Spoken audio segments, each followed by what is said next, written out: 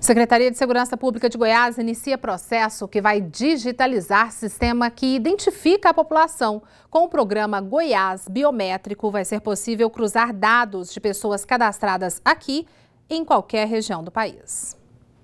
Ajudar no esclarecimento de crimes e diminuir a falsificação de documentos é o principal objetivo do programa Goiás Biométrico, lançado pela Secretaria de Segurança Pública. O programa vai modernizar todo o sistema de identificação do Estado, dando também mais celeridade e segurança na emissão de carteiras de identidade.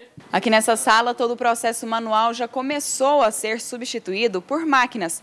O processo de digitalização vai levar cerca de dois meses para ficar pronto. E ao todo, serão 5 milhões de fichas civis e mais de 120 mil fichas criminais que vão passar dos papéis para as telas dos computadores. Até o ano que vem, todos os goianos já deverão estar cadastrados no sistema e a partir de janeiro, um novo modelo de documento vai começar a ser emitido. A identificação pelas digitais e por fotos vai gerar mais segurança e combater práticas ilegais que são muito comuns, como o estelionato.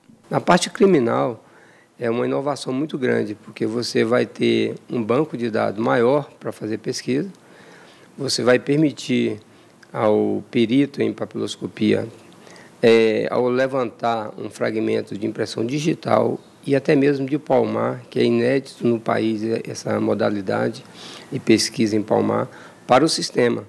Então você aumenta em, em, é, grandemente a possibilidade de, de chegar à autoria delitiva em relação à cena de crime. Fora isso, você vai é, combater um crime muito recorrente, que é o estelionato, a fraude. A gente costuma dizer que é uma nova era no sistema de identificação civil e criminal do Estado.